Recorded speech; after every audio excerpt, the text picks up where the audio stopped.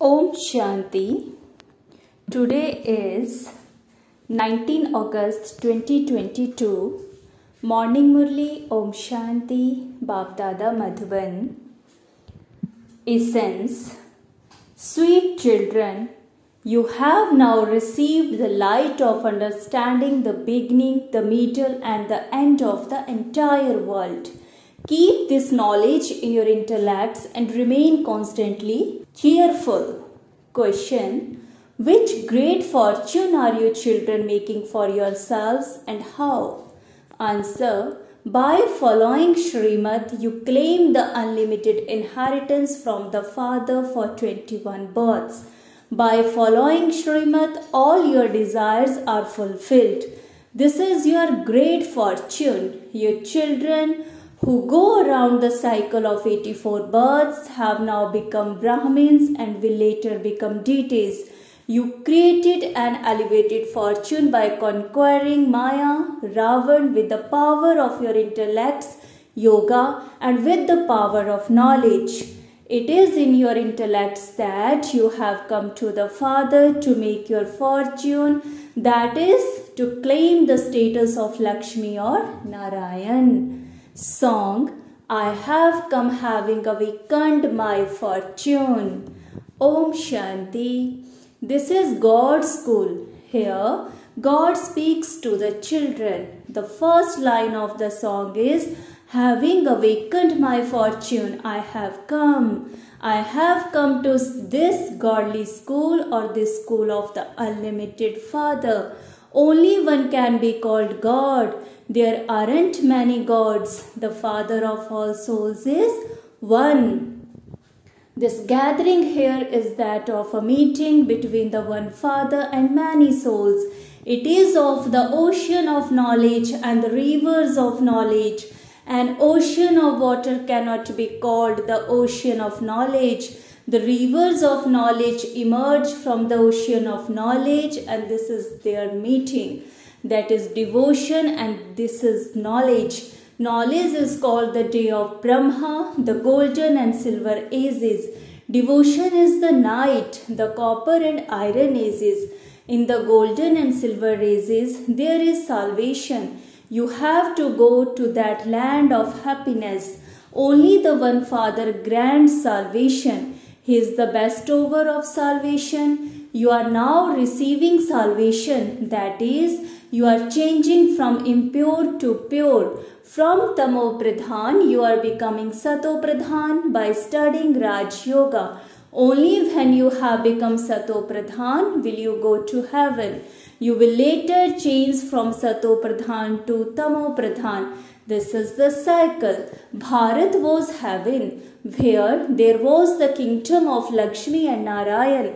Temples, etc., have been built to them even up to now. They were definitely in heaven. Now it is the iron age. In the golden age, the emperor and empress as well as the subjects were pure.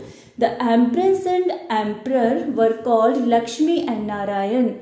In their childhood, they were Princess Radhe and Prince Krishna. Nowadays, people speak of Krishna Janmashtami.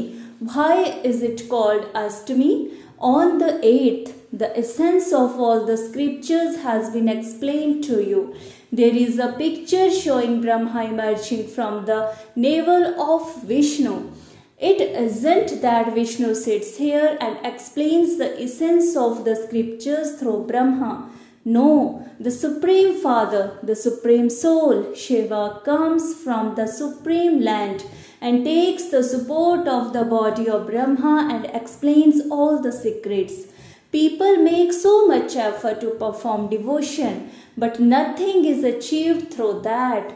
That is why God says, When your devotion is over, I come because you are then in a state of total degradation. In the golden and silver races, you claim your fortune of the kingdom. You belong to the Sun dynasty and the Moon dynasty, and you then continue to fall. Your intellects have to remember all of this. Your children have received the light of understanding the beginning, the middle, and the end of the world. This light is not in the intellect of anyone else. You understand that Shiv Baba is the highest of all and that in the subtle region there are Brahma, Vishnu and Shankar. In the corporeal region there is this human world. Jagat Pita, world father and the Jagdamba, world mother are praised in the human world. Whereas only Brahma is shown in the subtle region. They say to Brahma, salutations to the deity Brahma. Then they say, salutations to the deity Vishnu. Who are Brahma and Saraswati here? There is great praise of Brahma. You are the daughters of Brahma, so Prajapita, father of people, must definitely also be here. He would not be in the subtle region. The father has to give knowledge through Prajapita. Neither Vishnu nor Shankar can be called the ocean of knowledge. The Father is known as Sri Sri. He is the most elevated of all. God, the highest on high, He creates creation. After the marriage of Sri Radhe to Sri Krishna, they become Empress Sri Lakshmi and Emperor Sri Narayan. It is their kingdom in the golden age. In the silver age, it is the kingdom of Ram and Sita. The golden age is called heaven and it is then reduced by 2 degrees. You come down from 16 celestial degrees to 14 celestial degrees. After that, it is the copper age and the path of devotion begins. The Father now says, I send you children into salvation. Bharat was pure, so who made Bharat impure? It was Ravan. This is why I have to come cycle after cycle to purify the impure. You have come here to make your fortune. That is, to become the masters of the world. The Father explains, keep it in your intellects that you were deities and that you have now become Brahmins and will again become deities. This is a game of somersault. First, there is the top knot and above that is Shiv Baba. Then the Brahmins are created, they are adopted. The fathers of those children are limited ones, whereas that is the unlimited one. Prajapita Brahma is called the great great grandfather. He is praised at this confluence is the time when Shiv Baba comes and adopts Brahma, Saraswati and your children. Baba is now purifying you once again. You understand that you have come once again to claim your inheritance from the Father. We have been claiming it cycle after cycle. When the kingdom of Ravan begins, we begin to fall. That is, we change from pure to impure. It is now the kingdom of Ravan over the entire world.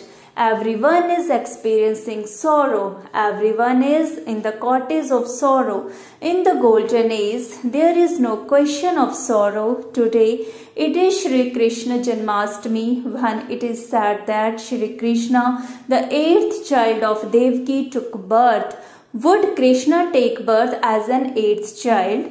Krishna takes birth in the golden age his first prince of paradise, but they have taken him into the copper. So that it is a tall story, is it not? Your children now understand that his soul, Krishna, is now in his last birth and studying. In the golden age, the parents of Krishna do not have eight children. According to the drama, all of those scriptures are already fixed. The Father now explains the essence of all the scriptures. God speaks, I teach you this knowledge. It is not a question of songs or verses, etc. This is a study. All the scriptures, etc., are the paraphernalia of the path of devotion. As soon as devotion begins, Somnath, the temple of Shiv Baba, is built. To begin with, it is the unadulterated devotion of Shiv Baba. This is Shiv Baba's unadulterated knowledge through which you become pure. It is remembered. After devotion, there is disinterest. You have disinterest in this entire old world. The old world is definitely destroyed. Only then is the new one established. This is the same Mahabharat war that also took place a cycle ago. The missiles, the natural calamities and everything that took place previously will all take place again. Deities don't ever set foot in the impure world. People invoke Mahalakshmi. Every year they ask her for wealth. In that image, Lakshmi and Narayan are both shown together. Mahalakshmi is shown with four arms. She is worshipped at the time of Deepmala and the residents of Bharat beg from her every year. Those are the two forms of Vishnu. People don't understand these things. At the moment, Prajapita Adi Dev and Jagdamba Adi Devi are here. Now, on the basis of Shrimat, all of your desires are being fulfilled. You claim your fortune of the kingdom for 21 births. This Brahma is the corporeal father and Shiv Baba is the incorporeal father. You receive your inheritance from him. He is the creator of heaven. You receive your inheritance for 21 births. Your fortune is so great. You also understand that those who have been around the cycle of 84 births are those who come here. They become Brahmins who later become deities. Whose birthday should you celebrate? With knowledge, you celebrate the birthdays of Lakshmi and Narayan. In their childhood, they are Radhe and Krishna. So, you must celebrate the birthdays of both. Why do they just celebrate Krishna's? They have taken Krishna into the copper race. Radhe and Krishna come from separate homes. They to meet again. So both their birthdays should be celebrated together. People don't really understand when Shri Krishna took birth. You now understand that Krishna took birth at the beginning of the golden age and that Radhe also took birth at the beginning of the golden age. There's a difference of 2 to 4 years. For you, the birth of Shiva is the most elevated, that's all. None but one Shiv Baba is mine. You are now becoming deities. You are becoming Lakshmi and Narayan or Ram and Sita. It has been explained why Ram and Sita are called the warriors who belong to the moon dynasty. Those who fail go into the clan of the moon dynasty. This is a war with Maya. Your conquer Ravan on this battlefield. There is no battle between the Pandavas and the Kauravas. You have to conquer Maya. The Father says to souls, Remember me alone, and your sins will be absolved, and you will conquer Maya. You have to conquer Maya with the power of your intellects, yoga, and the power of knowledge. The ancient yoga of Bharat is very well known. You conquer Ravan with it and claim the kingdom of heaven. You have the greatest fortune. The main thing is that you have to remember the unlimited Father and the inheritance to attain 21 births of constant happiness. You claim the kingdom of heaven in a second. Until their intellects recognize the Father, they will not understand. Here, there is no sage or holy man, nor does anyone read from the Gita or any other scripture like the sages do. Gandhiji also used to read the Gita and he would then chant Sita Ram, the purifier. However, God spoke the Gita. If Krishna had been the sermonizer of the Gita, why would Ram and Sita be remembered? In fact, you are the Sitas and Ram is incorporeal God. All the devotees call out to God, O Ram, O God, come and purify us Sitas. Then they sing the praise of King Ram, the Lord of the Raghu clan. They just carry on with the things they hear. Why is the Gangas called the purifier? Many go there on the path of devotion. A mela takes place there every year. They go and sit there. You sit in the ocean of knowledge, whereas they go and bath in the waters. However, no one becomes pure by doing that. They have continued to become impure. You are now on the path of knowledge, so you no longer go there. This is the true confluence because souls have been separated from the Supreme Father, the Supreme Soul, for a long period of time, who became separated from the Supreme Father, the Supreme Soul, for a long period of time. It must have been those who existed in the golden age first, and so God would definitely meet them first. They are the ones who will come first. You definitely have to study here. How would those who do not go to school listen to anything and how would they understand the deep points? Some say, we don't have time. The father says, this is a true income. The other ones are false. You earn multi-millions. When it comes to all the others, even if people are millionaires or billionaires, at the moment it is false wealth even though the government takes loans from them, everything is false. Maya is false, the body is false, and the whole world is false. The father explains, Children, I make you very wealthy. Ravan has made you so unhappy. You now have to conquer Ravan. There is no question of a battle. You cannot become the masters of the world by fighting. You become the masters of the world through the power of yoga. The Father teaches you yoga and the soul is also studying. The Father enters this one and gives you knowledge. He says, I am beyond birth and rebirth. The Father is the unlimited Father and so He explains unlimited secrets. I tell you the things that Maya has been making you do. You came under the influence of the five evil spirits. So, what has your state become? You were so wealthy by incurring useless expense on the path of devotion. Such has become your state. Now, after devotion, God comes and gives the kingdom of heaven. Therefore, the Father has to come to grant salvation. Acha, to the sweetest, beloved, long lost, and now found children Love, remembrance and good morning from the mother, the father, Bap Dada. The spiritual father says Namaste to the spiritual children and the spiritual children says Namaste to the spiritual father.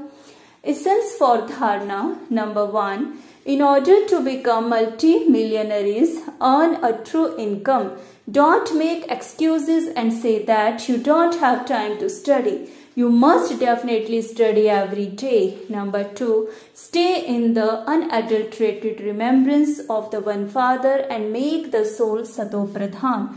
Mine is one Shiv Baba and none other. Make this lesson firm. Blessing. May you become full of all attainments and content by being constantly immersed in the love for the one Father. The father is not separate from the children who are constantly immersed in love for the one father. And they are not separate from the father. In return of their love of the father, they remain full of all attainments and content at every moment. This is how they are not attracted by any other type of support because souls who are immersed in love are full of all attainments. They easily experience belonging to the one Father and another. For souls who are merged, the one Father is their world.